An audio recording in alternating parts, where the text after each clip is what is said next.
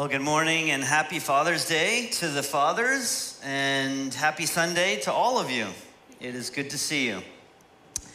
What a gong show that was. Um, it's so good to have you back, Greg, and I look forward to many moments of laughing in the office with you. Um, before we uh, get into the message, though, I, I wanted to share a, a, couple testimonies with you. Uh, one is a celebration uh, from our t shirt Empowered Initiative, um, partnering with Johannes and Kara in Ethiopia. Um, so, over the last few weeks, we have sold t shirts, and the proceeds from those t shirts is going to support our missionaries in Ethiopia as they minister the gospel to unreached people. Um, so I'm happy to report that we have raised $6,550. Yeah. To support their ministry in Ethiopia. So praise God. And thank you as well for generosity. Um, some of you bought t shirts for a lot more than $35. Um, and so I'm just uh, so appreciative.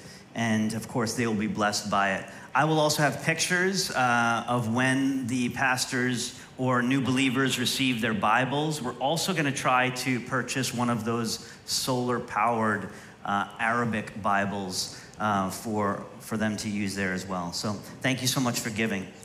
Uh, secondly, I'd like to share a testimony from a congregation member that we have, um, Amy Yang. I don't know if Amy is here, but I'm going to read her testimony because um, I've got it here written down and translated for us. So, so this is from Amy. I'm not going to raise my voice to sound like Amy. I'm just going to read it. Um, but she says, Dear brothers and sisters, on the morning of April 25th this year, I suddenly couldn't get out of bed.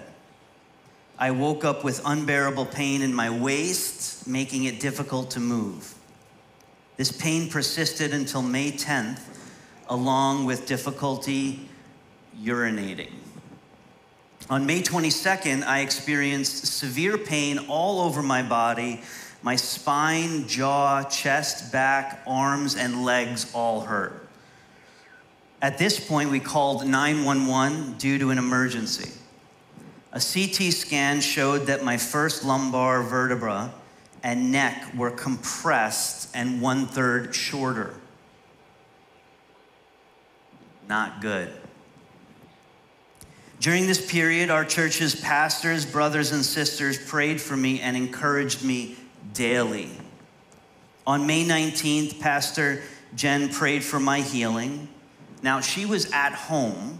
She couldn't come to church that Sunday, but her friends came forward to stand in the gap and to be uh, to receive prayer for Amy as she was at home. So her friends came forward and Pastor Jen prayed with them for her. A week later, my pain improved and I could finally attend church to listen to sermons in person. On May 26th, after the sermon, Pastor Joel and his daughter placed their hands on my back to pray for me. So, this is me and my nine year old daughter. This is just a funny moment because I'm praying for her and I see my daughter there and I just say, Anya, you're praying now as well. After another week, I was completely pain free and could walk independently. I cannot stop praising the Lord. Our God is real. He loves me. He loves you. He loves everybody. I cannot wait to share this wonderful testimony with you. Praise God. Let's give God glory. Praise God. Amy, are you here? You are here. Okay, hi. Hi. Amy is here. I thought she was here. I thought she was here. And thank you so much, Amy, for sharing. Uh, when I saw Amy come in the doors last week, she was like literally jumping up and down and, and laughing and smiling and so excited to share. Um, I will say that, that God has been, has been healing uh, lots of people in our congregation. This is now the fifth testimony that we have of healing. And just this morning, we had another testimony of, of God healing as well. And so I, I would just encourage you in this season as God is doing something, let's follow the cloud. Like if God is doing something, then we follow what He is doing. What we don't want to do is do something else while God is doing something. We want to partner with what He is doing and what He is saying and, and where He's prompting us and where He's nudging us. We want to follow Him. The best thing you can do is get behind God and follow Him. Amen? Amen. Yeah. So today I want to talk about empowered. We have been going through our series on empowered. We began with being empowered in the upper room by the Holy Spirit. We continued our series being empowered to love, being empowered to heal, being empowered in generosity, and today being empowered for freedom. For freedom. The early church was marked by freedom. The early church was marked by freedom, renewal, and restoration for anyone who needed it. People from all walks of life could come to church to find healing. Even the location of the church says something about the kind of gathering, the kind of community that God was forming in the early church. I don't know if you knew this, but the first megachurch was in the early days of God growing the church. Most people say that the megachurch was created in the early 1900s. And in fact, one of the first megachurches that was started, many people say, was our founder's church, Aimee Semple McPherson. Yes, she was a woman, and she had the first megachurch called Angelus Temple in Los Angeles. The sanctuary, even today, which still exists, seats 5,000 people. And many people think that this is one of the first megachurches that existed, but actually, the early church was a megachurch. And I don't know if you knew this, but the early church met in a place called Solomon's Portico, or Solomon's Colonnade, or Solomon's Porch. This was actually outside the temple, uh, the temple gates. It was 162 columns long. It was 800 feet, and it was a covered area that was outside but undercover. And it was undercover so that they could meet in the shade and they were out of the heat. And it was a place that had great acoustics, so you could actually speak to a lot of people at the same time. It's in Solomon's portico that Peter would be speaking to 10,000 people. First megachurch. This place could hold up to 30,000 people. But the thing about it that was unique was it was not inside the temple. It was not in a synagogue. It wasn't in a closed building. It was kind of open air. And so it, it became a place of debate, a place of discourse, a place where people would come with questions, a place where men and women would gather. Kids would come. Everybody would be welcome. Gentiles could come. People from, uh, like foreigners could come. Everybody was welcome at Solomon's portico. The early church was open and welcoming and loving and inviting in. And so everyone from all over would come to hear Peter preach. I think it's significant that the first church gathered outside the church.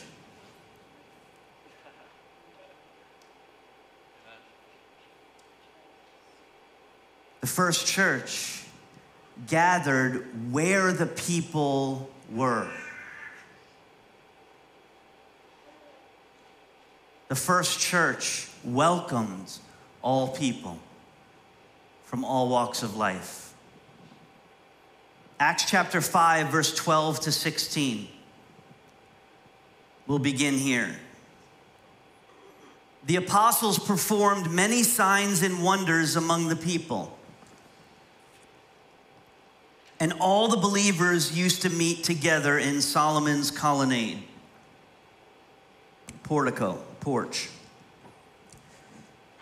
No one else dared join them, even though they were highly regarded by the people. Nevertheless, more and more men and women believed in the Lord and were added to their number. So, if you remember in the early church, there was 3,000 people added day 1. They baptized 3,000 people on day 1 and they just began growing. It's, it's probably up to 10,000 if you include men, women, and children as a result, as a result of this growing and ever increasing empowered church that was out in the public place, in the community, as a result, people brought the sick into the streets and laid them on beds and mats so that at least Peter's shadow might fall on them as he passed by. Crowds gathered also from the towns around Jerusalem, bringing their sick and those tormented by impure spirits, and all of them were healed. How many? There's nothing that's better to hear than all of them were healed. God was doing something supernatural in the church. He, he was moving in signs and wonders. So now we have something to add is we have the first mega church and the first Pentecostal church. I don't know if you knew this, but this is before there was denominations of churches, of which there's probably over 20,000 different denominations today. The first church was a church filled with the Holy Spirit, empowered by the Holy Spirit, that welcomed everybody from all walks of life. And people would, would be so confident that they could bring their sick, their wounded, their in pain, their tormented, their diseased, their demonized to the church. They were so confident. They were traveling from all different places to this place, and people would be healed. They were so confident that the church was empowered and a place of freedom. They would lay their sick in the streets, hoping that as Peter walked by, his shadow might touch them.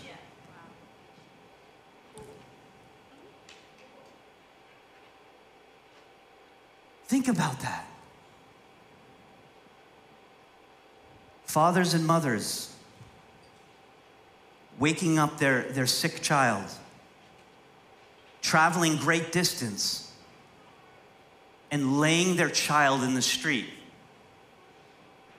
hoping that as Peter is walking by, and hopefully the sun is at the right angle. Like, what if they laid him on the wrong side of the street? Thanks, Dad. I thought you knew where the sun was coming. Now I'm not in the shadow. But think about that. They laid their child in the street, hoping that as Peter is walking by, his shadow would be cast upon them and be healed. The expectation was high, faith was high. Why? Because it was a church that expected signs and wonders. Now, a few weren't healed, some weren't healed, all were healed. In other words, you could debate whether it was all or some, but the point is, the people were so expectant that they could bring their family members, their friends, their neighbors, their unsaved loved ones into the church and they would find salvation, healing, and deliverance.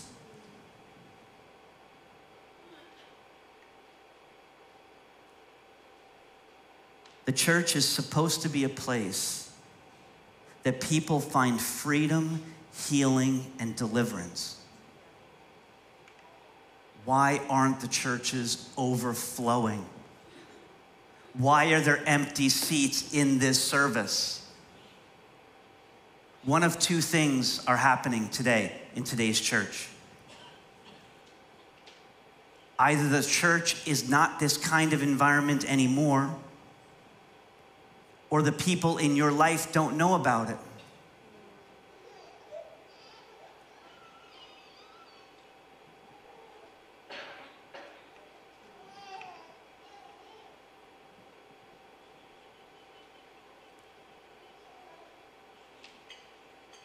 The church has become a classroom. And not everybody likes to go to school.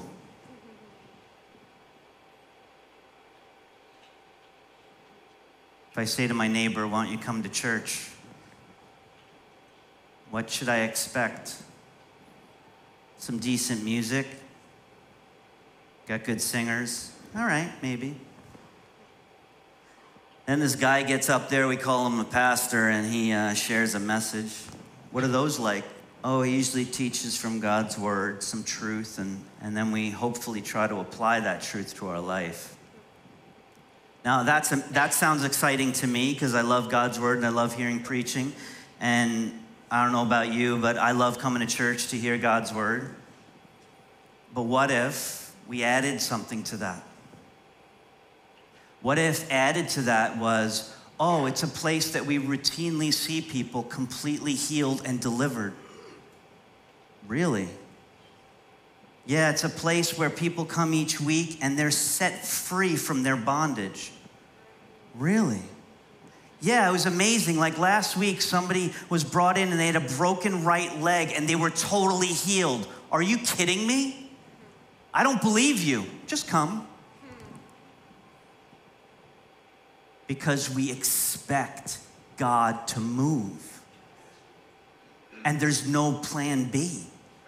See, I think a lot of what we have done as a church is we've made this other stuff like smoke and mirrors and stuff. And I'm not saying what we're what we're doing is not important. I love it, I love it, I love it. But I think there's something that has to be added to it, which is what the early church had. Because the early church had preaching, and the early church had teaching, and the early church had singing of, of, of psalms. We read about them bringing their hymns into the church on the daily. So there was songs, there was teaching, but there's something that's missing. And what's missing is an empowered church where freedom is found, healing is found, deliverance is found, salvation is found. That the community would be so expectant that they would lay their sick at the door of the church, that as we come in in the morning on a Sunday morning, they would see their loved ones, their friends, their coworkers healed. There was nothing special about Peter's shadow. It's not actually Peter's shadow that healed, it was actually the one who overshadowed Peter. It's the one that casts the shadow. It's the one that shines above him. Psalm 91 1 says, Whoever dwells in the shelter of the Most High will abide in the shadow of the Almighty. Peter was in the shadow of the Almighty, which means he's in the shadow of Jesus, the light of the world. And as Jesus, the light of the world, casts his light, his glory upon Peter, Peter's shadow actually contains the anointing.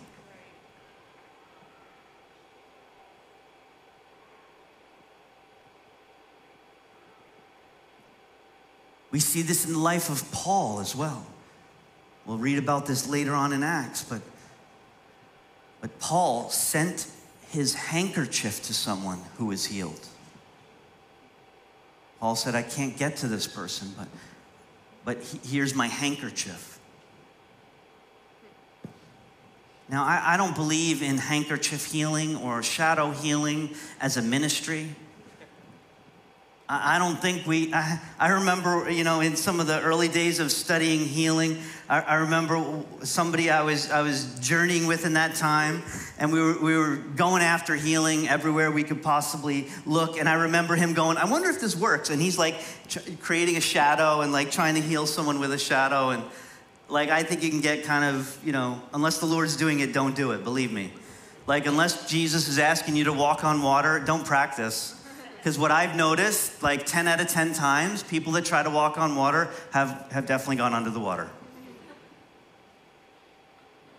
But, but what I love about this was that there was such an expectancy, such a faith that God was going to do something, that even the surrounding community thought if I could just get my loved one close, close, in the shadow, they'd be healed.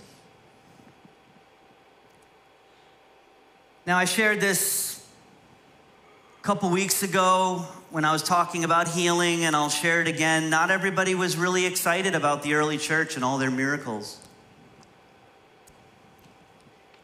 In fact, the early church was imprisoned by the religious. Verses 17 and 18 when the high priest and all his associates who were members of the party of the Sadducees, were filled with jealousy. They arrested the apostles and put them in the public jail.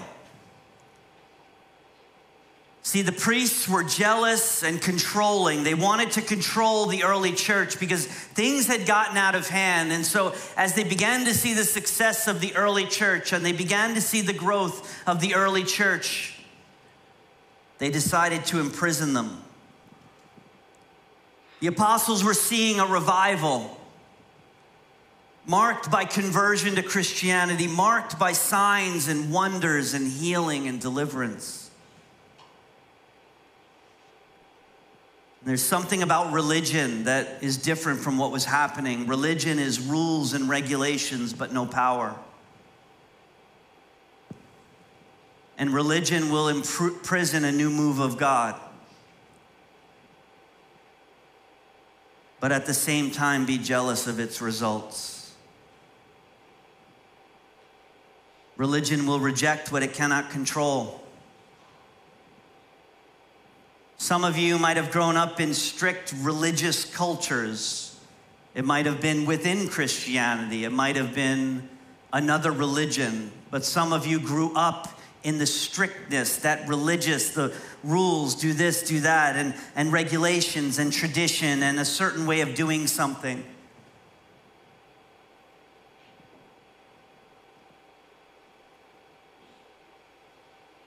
But religion is rules and regulations with no power.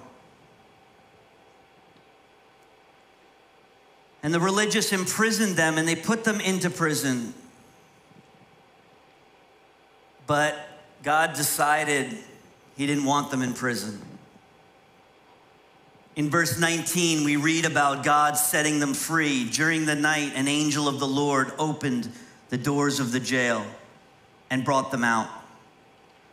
Go stand in the temple courts, he said, and tell the people about this new life. At daybreak, they entered the temple courts as they had been told and began to teach the people. When the high priests and his associates arrived, they called together the Sanhedrin, the full assembly of the elders of Israel, and sent to the jail for the apostles. But on arriving at the jail, the officers did not find them there.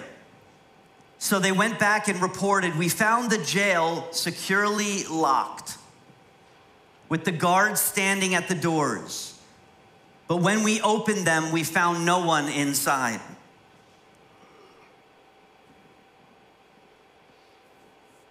I don't, we don't know what happened exactly here, but, but the apostles are locked up, they're imprisoned, the door's locked, guards are set. Next day, they're out. They walk through the walls. Did they elevate through the ceiling? We don't know, but the point is is that God decided they weren't going to be in prison. See, sometimes God calls us to go to prison. God called Paul to write most of his books from prison. God called Joseph to prison. God calls some people from prison.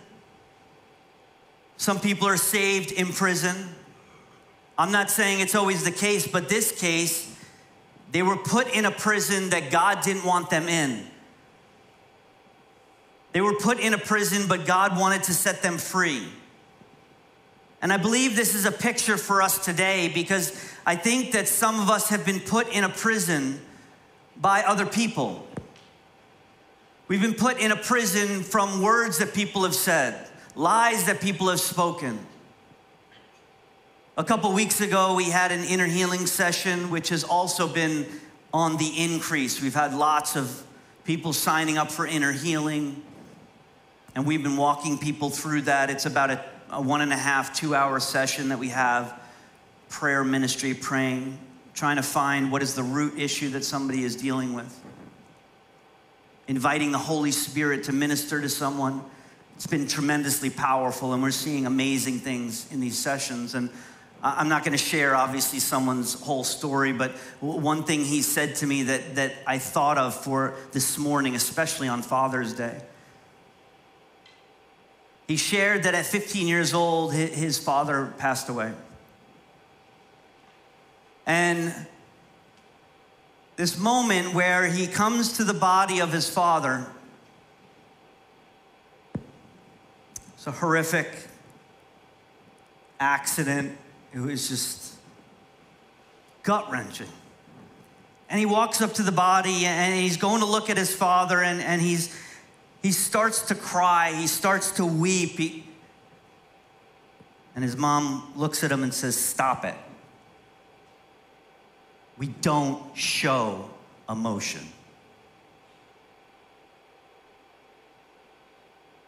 You deal with this in a different way, but you do not cry.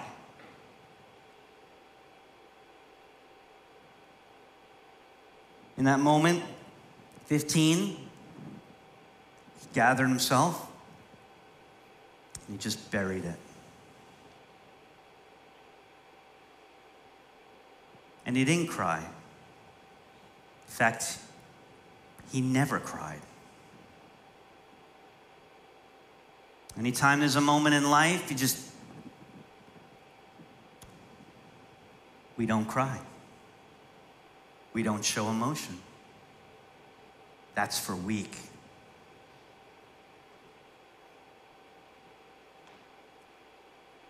As we ministered to him,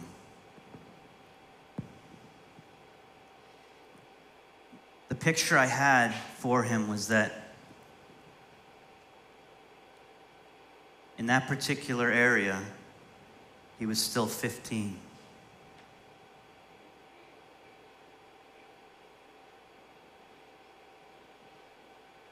He never grew up in his emotional maturity. In that moment, at 15 years old, he was put into a prison,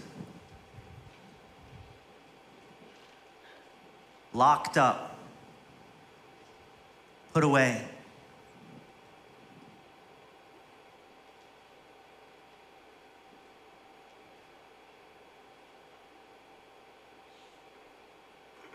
And I felt that there are men here that can relate to that. Women as well, but particularly a, men from certain cultures, certain family structures, where you had to grow up because that's what life expects of you, but in some ways you're still a boy.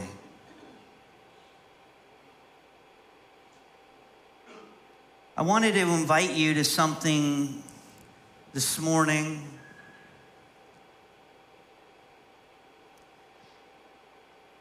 I want to invite you to come to Jesus and ask Jesus, is there an area of my life? This is for all people too. Is there an area of my life, Lord, that I'm still in prison? Is there an area of my life, Lord, that I'm still, look at this picture. It's a great job, Claren, by the way. I hadn't, hadn't seen this. But that's it. Is there an area of my life, Lord, that I am locked up? Still young, still a girl, still a boy, where I was told not to feel. Or maybe this one, this is a common one be strong. Yeah. Just be strong, will you? Be strong. Don't cry, be strong. Wait, strength and tears can't coexist? Have you met my pastor, Joel? Man, I want to tell you something today, and I don't know if you've ever heard this before, but but you got to cry. You got to laugh.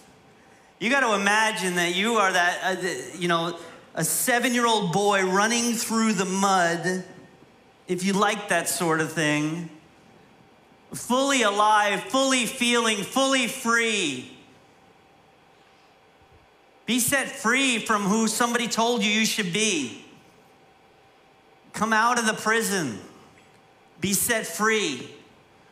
Romans chapter 8, verse 1 says, There is therefore no condemnation for those who are in Christ Jesus, because through Christ Jesus, the law of the Spirit who gives life has set you free from the law of sin and death. John 3 17 and 18.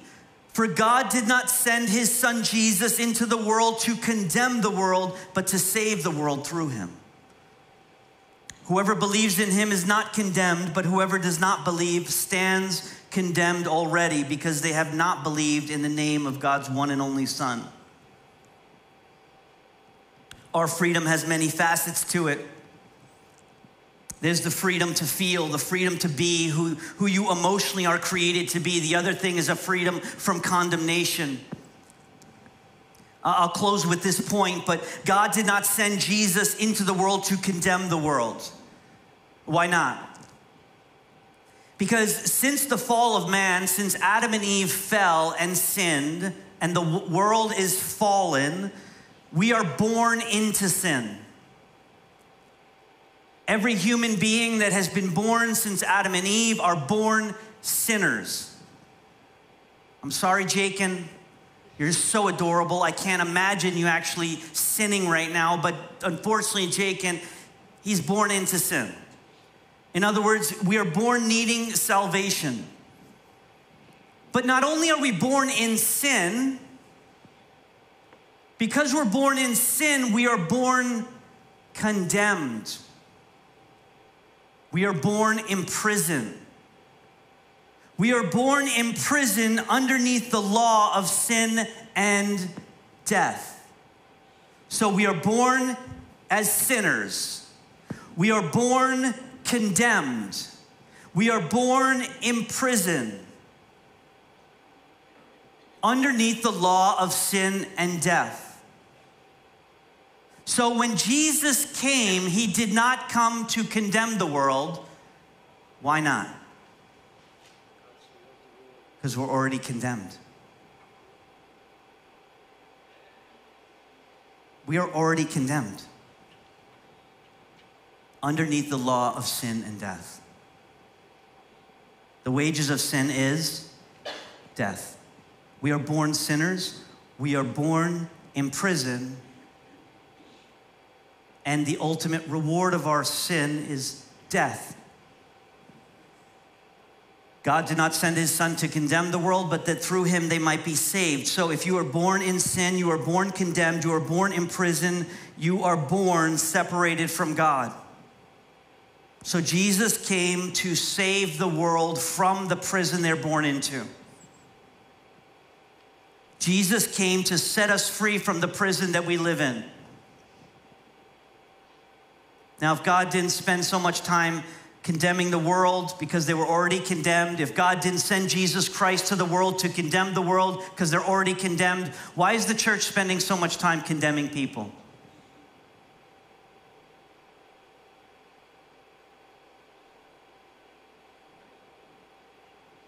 Let me read this again.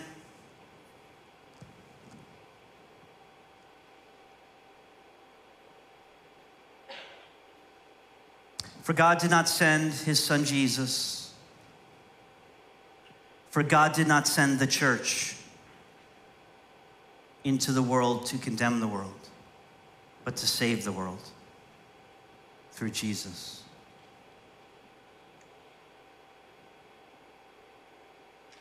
We are the body of Christ. We are Jesus to the world. I know I said I would close on the last verse. Sorry, worship team, but I need to read this. I want to read the job description of the church.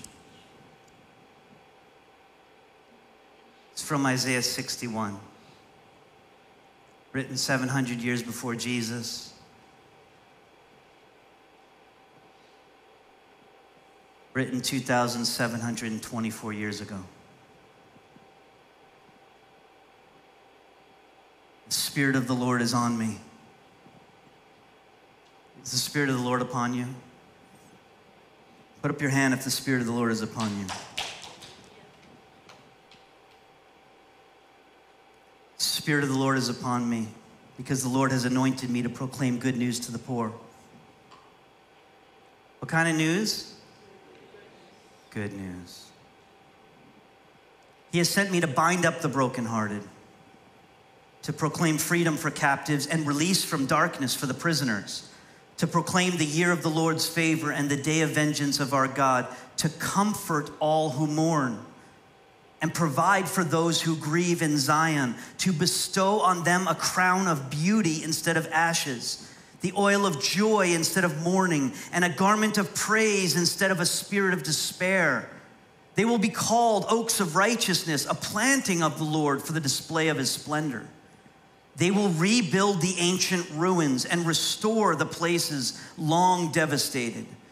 They will renew the ruined cities that have been devastated for generations. Strangers will shepherd your flocks. Foreigners will work your fields and vineyards, and you will be called priests of the Lord. You will be named ministers of our God. You will feed on the wealth of nations, and in their riches you will boast. Instead of shame, you will receive a double portion, and instead of disgrace, you will re- rejoice in your inheritance and so you will inherit a double portion in your land, and everlasting joy will be yours. This is not just the calling to Israel 700 years before Jesus. Jesus gets up and he reads a portion of, of, Isaiah 61 again. And he says, The Spirit of the Lord is upon me to proclaim good news to the poor, to bind up the brokenhearted. And I believe today this extends to us. The Spirit of the sovereign Lord is upon the church because the Lord has anointed the church to proclaim good news to the poor. He has sent the church to bind up the brokenhearted, to proclaim freedom for captives and release from darkness for the prisoners, to proclaim the year of the Lord's favor. The same the same prophetic word to Isaiah for Israel is the same prophetic word to Jesus over his ministry, is the same prophetic word to the church today that we would be a place of freedom, of healing, of deliverance. That as people come in, there would be therefore no condemnation. For those who are in Christ Jesus. Condemnation is a prison mindset. Literally. You're condemned and you go to prison. It's a prison mindset. Jesus comes and he unlocks the door and he says, Come out from your prison.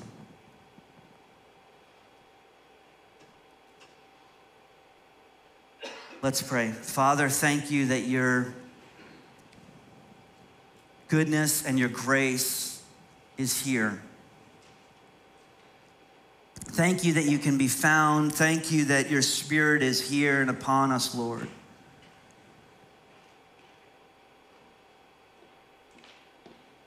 I pray as we respond in worship, Lord, as, as we respond with break every chain, I pray, Lord, that you would bring freedom to those that need it this morning, Lord God. You'd bring freedom to those that need it this morning, Lord God. Whatever prison, whatever place of bondage, whatever place of holding back, whatever place that has been stunted, whatever place that has been buried, whatever place that has been told, do not feel, do not react. God, I pray now by your Spirit you would minister and set free, Lord, those that need it this morning. We come to you, Father, our good, good Father. The Spirit of the Lord is upon us to proclaim good news to bind up the brokenhearted, to say it's okay to feel again. It's okay to be all that you were created to be.